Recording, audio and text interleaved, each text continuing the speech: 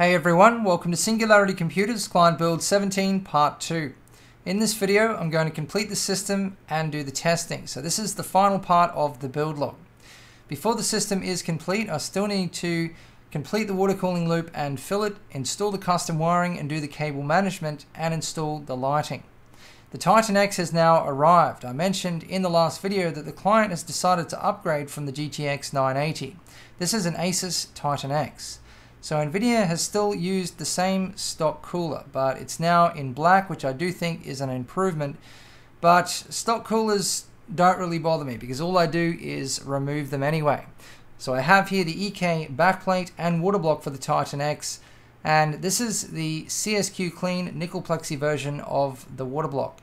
Now something that EK has changed in their graphics card water block designs recently, they've added a jet plate design like what you see on a CPU water block. So you can see that here. And graphics card water blocks have always been fairly simplistic in their design, so this is possibly going to mean a performance improvement. I now need to start on the tubing because before I can install the graphics card, I need to install the length of tube on this side of the build. The tubing I'm using in this build is Bitspower 16mm acrylic and I'm using that right through the water cooling loop. And I'm not using fittings for the bends in this build. I'm going to be bending the acrylic tube. So you can see here I've installed the first length of tube and it goes from the pump up to the inlet on the CPU and motherboard water block. The water cooling loop is now complete. Now the way I like to bend acrylic tube is completely by hand. All I use is a heat gun and the silicon insert and I do things this way because it gives me a lot more freedom. It allows me to do things like the offset that you can see on the tube going back to the top of the res. And I can really do anything I want to with my bends. I just prefer doing it this way. But the problem is, it means there's a lot of, of guesswork and estimation involved. So often what I end up doing, you can actually if you make a mistake on a tube, go back, straighten it out, and then bend it again. But the tube starts to lose shape, and you know if you do it a couple of times, it really doesn't look that great anymore. So usually what I do is a, a prototype tube to try to get the bends right. And once I've figured it all out, I go back and redo it for a, a final time. So it does use a lot of extra tube, but in the end, it just gets me a far better result. And you know, getting the angles absolutely perfect when you're bending your tube is just so important. You can see it from a mile away when those angles are incorrect. And things like the two lengths of tube at the bottom there, where they're both the same height, getting those distances perfect, all of that, you know, sometimes using a bit of extra tube is definitely worth it. So you can see I've started filling the loop and I've just switched on the pump for the first time. And something I find with DDC pumps is, you know, when you switch on the pump, how quickly the coolant flows. Not so much with D5 pumps. I'm not sure if it's just due to the amount of air that ends up in the pump. I think they're a little bit more prone to getting air in them just due to the design of the pump tops. But the DDC is certainly a powerful little pump. As you can see from filling my loops over the years, it's always with the DDC that things move a lot more quickly. The coolant I'm using is Mayhems X1 UV Red. Initially I was thinking of using Mayhems Pastel Red, but it wouldn't have suited the Star Wars Sith theme as well as this color. And this coolant also matches up nicely with the art on the case, the candy red. It currently looks a little bit orange or a light red, and that's because of the amount of light I'm shining onto the build, and also because the loop is currently still full of air.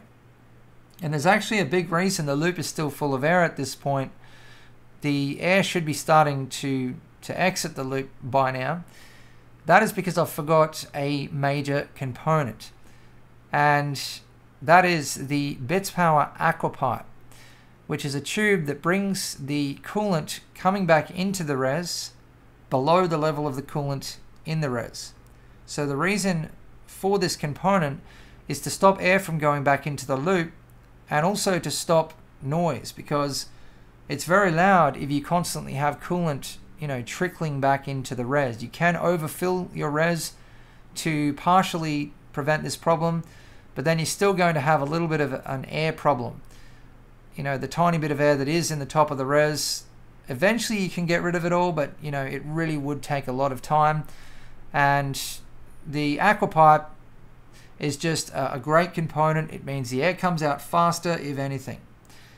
It's now time to install the custom wiring. So I've completed the leak test and now for the final phase of the build. So all of the custom wiring is complete at this point and you can see that on some of the cables, the cables for the core components, actually the 24 pin and the PCI 6 pin and 8 pin, we've used some red sleeving. So the sleeving that I always use in my builds is MDPC-X so I've used a black and a red and just a couple of streaks in there to add a little bit more detail to the build. All of the cables are now installed and I've completed the cable management. So the system is actually ready to boot, but there's one final addition and that is the lighting. And the lighting I use in all of my builds now is Darkside. The reason I use Darkside lighting is because of the incredible quality, how bright it is, the colors. The UV lighting is the best I've ever used. It creates an awesome UV reaction. And I'll put a link in the video description to where you can pick up this lighting. So the system is complete and in a few minutes I'm going to boot it for the first time. You'll notice I've used a lot of different cable management components around the build. On the 24 pin and 8 pin EPS cables, I've used E22 cable combs, the smaller black ones. The rest of the cable management components you see are from ModSmart. Now I have a large collection of different cable management components and it means that when I'm building my systems I have cable management components that apply to every cable and every build so it really makes cable management a lot easier and as you can see from a lot of my builds clean cables are just about everything. They really take a build to the next level. So I highly recommend having a good collection, mainly if you're building a lot of systems. It's you know something that's not that costly and a great thing to have. So I'll put a link in the video description to where you can pick up all of these different cable management components. You'll notice that the fittings down near the drain port are on an angle and there was nothing I could do about this. It was just due to the way the radiator is manufactured. The outlet is on a slight angle, and I come across this a fair bit where the inlets and outlets are not perfectly straight. The only way you can deal with this is by using the correct fittings to straighten things up. As I always do, I've run the lighting from the motherboard and I've actually run it from an optional extra PCB which comes with this motherboard which gives you an extra two 4-pin PWM fan headers. And the reason I used this, because there was actually extra fan headers available, is because it gave me two fan headers in a perfect position for the lighting. It meant less cable mess, shorter runs with the cables, and this is one of the biggest reasons I always run my lighting from fan headers on the motherboard. Also because there almost always is free fan headers, and it also gives you some form of control over the brightness of the lighting through fan profiles in the BIOS.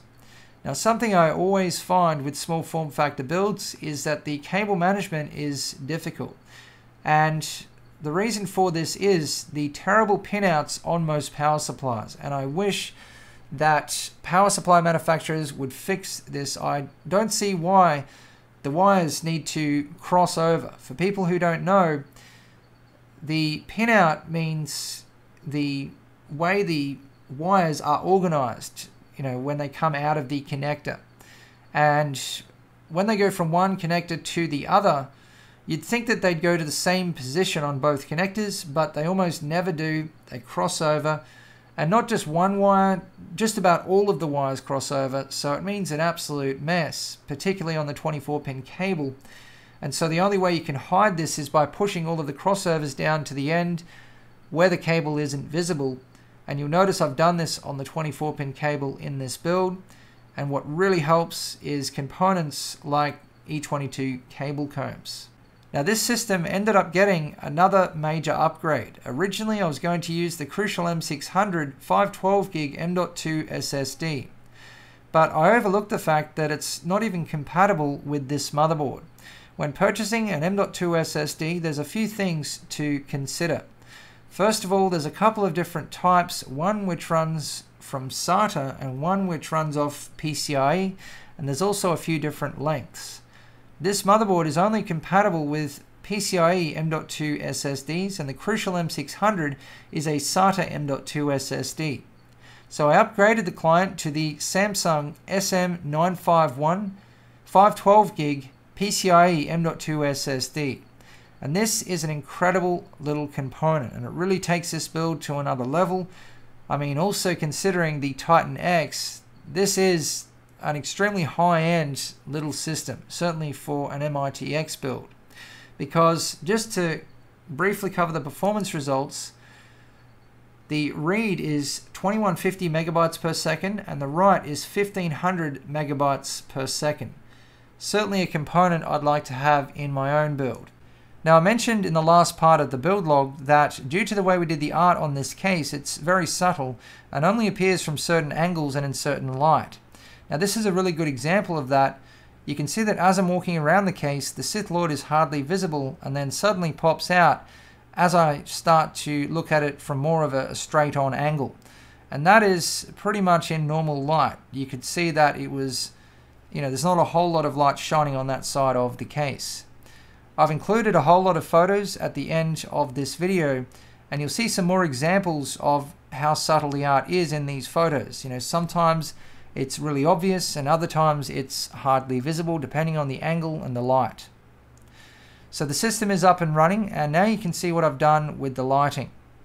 Now normally having used red coolant I wouldn't use red lighting. I'd probably use white lighting but certainly not red because it's not a good idea to flood a build with the same colored light as your coolant. It just takes from the color of the coolant.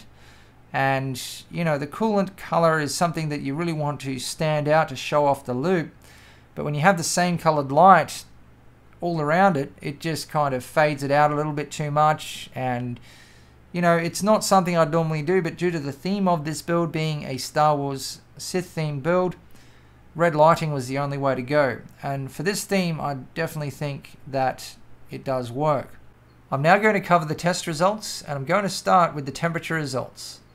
For all of my temperature testing, I mathematically adjust my ambient temperature to 20 degrees Celsius. All of my results are in degrees Celsius and are an average of the cores. For the idle test, I cold boot the system and let it idle for 30 minutes. For the load test, I run the AIDA64 stability test for 30 minutes. Now the client requested an extreme overclock for this system. So what that means for a client build is I find the limits of the components, but then I back off the overclocks substantially to be safe. I was expecting some amazing results from this system for a whole bunch of different reasons, but particularly from the CPU and motherboard because of this water block and also the motherboard itself, and I was very happy with the results. I managed to get 4.6 gigahertz, 1.2 volts on the CPU, and for the core voltage that is 0.1 of a volt lower than the CPU runs at stock settings, which goes to show that you can easily run a lot of components at lower voltages than they're set up by default, mainly CPUs, and this is something that you can do in a system where you're not going to be overclocking, where you want it to run really cool and quiet, you can drop back the voltages, and often you can drop them back substantially without a problem. And I actually did test that for this CPU. It runs at 1.1 volts at stock settings. And I actually took it up to 4.7 gigahertz. And at that point, the, vo the voltage that was needed really started to jump up. So that's where I stopped pushing. The memory I took to its XMP profile of 1866 megahertz C9, 1.5 volts. And for the graphics card, I took it to 100 megahertz over on both the core and the memory, and the power limit to its maximum. Starting with the CPU, at stock clocks at idle 32 degrees, overclocked at idle 33 degrees. Stock clocks at load 63 degrees, overclocked at load 74 degrees. The GPU, stock clocks at idle 25 degrees, overclocked at idle 26 degrees. Stock clocks at load 32 degrees, overclocked at load 39 degrees. Now the motherboard at idle generally sat around 25 degrees. The hottest I saw it get was 35 degrees, which is excellent for an ITX board where normally the heat permeates from the CPU and MOSFETs and heats up everything on the board.